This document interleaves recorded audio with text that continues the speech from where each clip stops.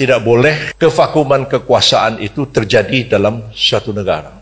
Ya, itu bisa rawan sekali, bisa terjadi perebutan kekuasaan, bisa juga terjadi serangan dari negara lain kalau dalam suasana konflik dengan negara-negara yang lain. Saya pengalaman menangani soal itu pada tahun 1998 ya, barangkali adik-adik mahasiswa mungkin baru lahir atau mungkin belum lahir pada waktu itu bagaimana dalam situasi yang sangat-sangat sulit saya harus meyakinkan Presiden Soeharto tidak punya pilihan kecuali Pak Harto mundur. Yang ngomong itu saya berdua sama Pak Saadilah Mursyid. Pak Harto kemudian bilang, Ril, kamu atur bagaimana cara berhentinya.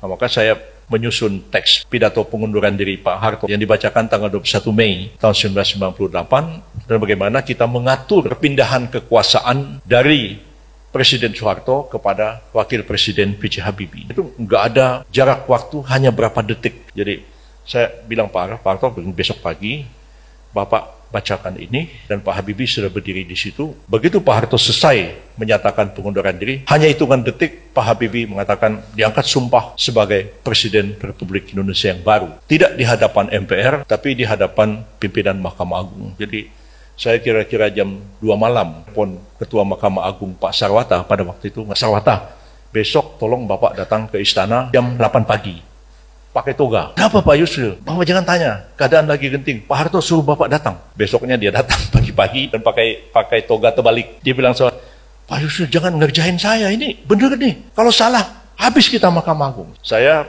sudah konsultasi dengan guru saya, mungkin saudara tahu, Profesor Ismail Suni, yang guru saya di Fakultas Hukum kita ini sudah almarhum. Dulu beliau jadi ketua jurusan hukum tata negara, kemudian beliau jadi duta besar di Arab Saudi, saya menggantikan jadi ketua jurusan hukum tata negara. Nah jadi sampai pada waktu itu Pak Ismail Suni itu bicara lewat telepon kepada Pak Sarwata, mengatakan, Pak Ketua Mahkamah Agung, apa yang dirancang oleh Yusril benar. Saya jamin itu tidak akan salah. Jadi saya waktu itu agak seperti orang mempertaruhkan nyawa juga ya. Mengganti presiden dalam suasana genting seperti itu bisa dibunuh orang juga saya pikir.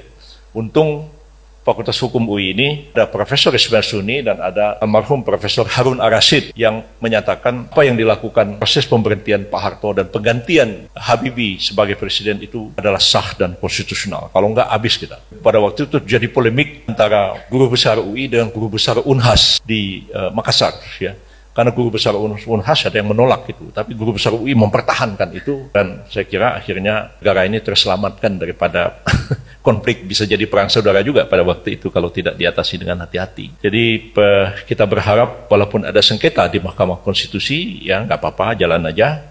Dan putusan sengketa itu final and binding. Dan nanti presiden barunya tetap dilantik pada tanggal 20 Oktober tahun 2024 apa pun yang terjadi.